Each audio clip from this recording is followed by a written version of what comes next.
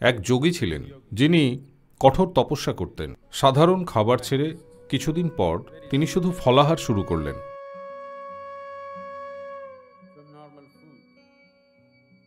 আর তারপর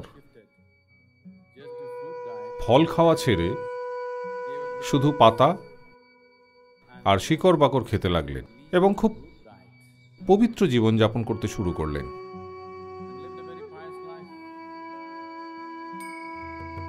একদিন যখন তিনি বনে ঘাস কাটছিলেন, তার ছাউনি তৈরির জন্য বা যে ছোট্ট কুঁড়ে ঘরে তিনি থাকতেন, তার চাল বানানোর জন্য দুর্ঘটনাবশত তিনি তার নিজের আঙুল কেটে ফেললেন। যখন তিনি তার নিজের আঙুল কেটে ফেললেন, তিনি অবাক হয়ে দেখলেন যে রক্তের বদলে একটা গাছের বা ফুলের রস তার কাটা আঙুল থেকে বেরিয়ে আসছে। তখন তিনি খুব সন্তুষ্ট হলেন এটা ভেবে যে তার তপস্যা, তার সাধনা তাকে এত পবিত্র করে দিয়েছে যে রক্তক্ষরণের বদলে তার ভিতর থেকে গাছের রস বেরিয়ে আসছে। এতে তার খুব গর্ব হলো। আর সেই অহংকার তাকে এতটাই পেয়ে বসল যে তিনি ভাবতে শুরু করলেন, আমি যোগীদের মধ্যে সবচেয়ে পবিত্র, কারণ তিনি এখন এক সবজিতে পরিণত হয়েছেন শিব লক্ষ্য করলেন, এই মহাকীর্তিমান যোগী এত সাধারণ অহংকারের শিকার হয়ে পড়ছেন So Shiva took on the form of a yogi and came this way. তাই শিব এক যোগীর রূপ ধরে এই দিকে এলেন আর তিনি সেই যোগীর মুখে এক বিরাট তৃপ্তির হাসি দেখে জিজ্ঞেস করলেন এত হাসির মতো কি ব্যাপার?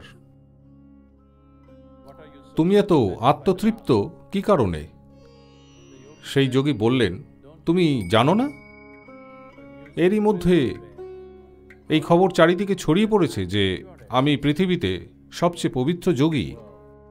কারণ দেখো আমার আঙুলটা, আমার আর রক্ত বেরোচ্ছে না। কোনো গাছের কিংবা ফুলের বা ফলের রস বেরিয়ে আসছে আমার ভিতর থেকে। আমি ভীষণ পবিত্র হয়ে গেছি। তুমি এটাও জানো না? তখন শিব বললেন, পশুরা পাতা আর শিকড় খায় এবং তা থেকে রক্ত আর মাংস তৈরি করে। এই সব কিছু যখন পোড়ানো হয়, তা ছাই হয়ে যায়। তাই গাছের রসক্ষরণ করার মধ্যে গর্ব করার কিছু নেই। যেটা গাছ ছিল, সেটা একটা পশু হয়ে যায়। যা একটা মানুষ বা একটা পশু বা একটা গাছ শেষ পর্যন্ত ছাই হয়ে যায়। আমার দিকে তাকাও। এই বলে তিনি তার নিজের আঙুল কেটে ফেললেন। আর তার ভিতর থেকে ছাই বেরিয়ে এলো। তার শরীর তার শরীরের প্রত্যেক ছিদ্র থেকে এই ছাই বেরোতে শুরু করল।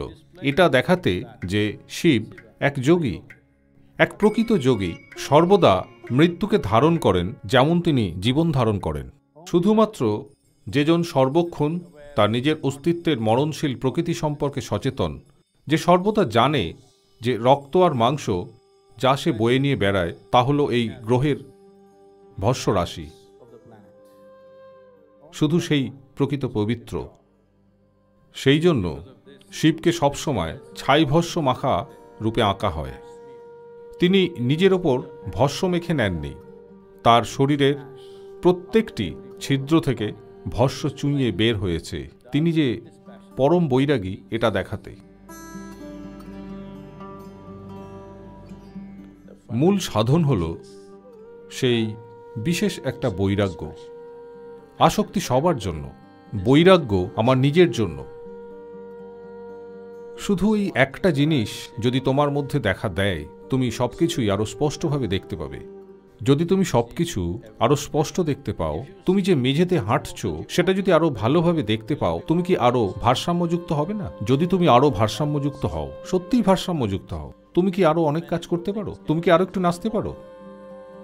ঠিক সেটাই বলছি। তাই সমস্ত কিছু যদি তুমি উৎসাহ ও গভীর আসক্তির সঙ্গে করো, তোমার মধ্যে বৈরাগ্যের ফুল ফুটে উঠবে। কারণ তুমি দেখতে পাবে, বৈরাগ্যই সর্বশ্রেষ্ঠ ফুল।